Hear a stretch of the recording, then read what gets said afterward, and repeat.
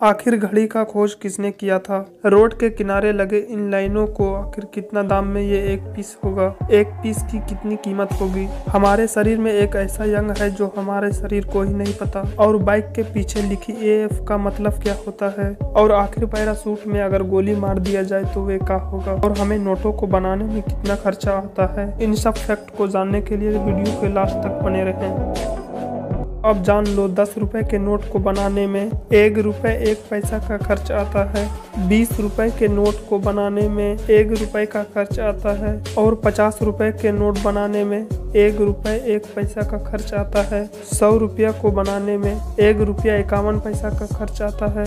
दो सौ रुपए के नोटों को बनाने में दो रुपए पंद्रह पैसा खर्च आता है और पाँच सौ रुपए को बनाने में दो रुपए संतावन पैसा का खर्च होता है और दो हज़ार के नोटों को बनाने में चार रुपए, अठारह पैसा खर्च आता है। फैक्ट नंबर फोर्टीन एक ऐसा एडवर्टाइजिंग आपको दिखाने वाला हूँ कि आप कहीं पे ना देखे होंगे, न कहीं पे सुना होगा। सभी कंपनी को एडवर्टाइजिंग को पीछे छोड़ते हुए सन सिल्क कंपनी ने कुछ अलग ही अंदाज में हमें एडवर्टाइजिंग दिखाया है। तो इस वीडियो में आना बनता है। सन सिल्क ने इस एडवर्टाइजिंग को इस्तेमाल लोगों को ये बताने में किया है कि यह कंपनी बालों को मज़बूत बनाता है। इस एडवर्टाइजिंग ने कुछ बोलने लायक छोड़ा नहीं। अब मैं क्या बोलूँ? फैक्ट नंबर थर्टीन एक ड्रैगन फ्लाई अगर एक मीट करते हैं तो वे एक हार्ट के रूप में वैसम दोनों का इमेज बनता है और ये इमेज बहुत ही रेयर है। फैक्ट नंबर ट्वेल्व दुनिया का पहला स्पेस होटल 2025 में बनेगा और इसमें 400 मेहमान के लिए सिनेमा और कमरे भी शामिल होगा।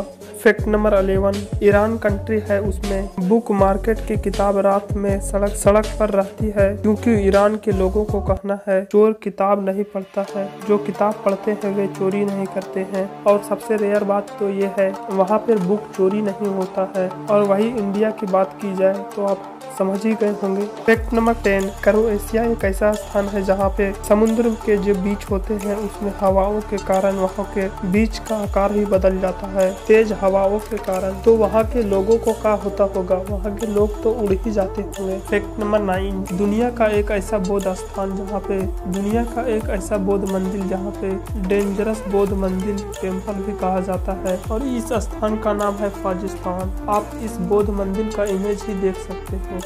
फैक्ट नंबर एट अगर कोई व्यक्ति पैराशूट अगर आसमान में उड़ रहा है, अगर उसमें कोई गोली मार देगा तो वे क्या होगा? क्या कभी ऐसा कुछ हुआ था? तो जान लो। 1880 में दो फ्रांसीसी लोग ने, एक व्यक्ति ने दूसरे पैराशूट को गोली मार दिया था और उसकी मौत हो गई। फैक्ट नंबर सेवन क्या आपने कभी सोचा है भारत दुनिया के सबसे पावरफुल पासपोर्ट वाले देश की लिस्ट में कितना नंबर पर आता है? जैसे दुनिया का सबसे पावरफुल पासपोर्ट जापान का है तो वही इंडिया की बात की जाए तो वे चौरासी नंबर पर आते हैं।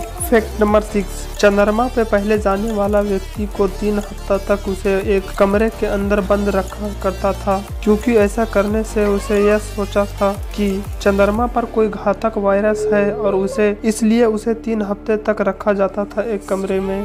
फैक्ट नंबर फाइव ये फैक्ट आपको चौंका के रख देगा। 2015 में एक ऑस्ट्रेलिया महिला ने, उस महिला ने घोड़े पर एक सट्टा लगाया था और वे महिला जीत गया। 825 डॉलर वे महिला जीती थी। महिला ने जीतने वाली फेसबुक पर एक फ़ोटो वायरल की थी। उन्होंने टिकट के साथ एक फेसबुक पे फ़ोटो वायरल किया था।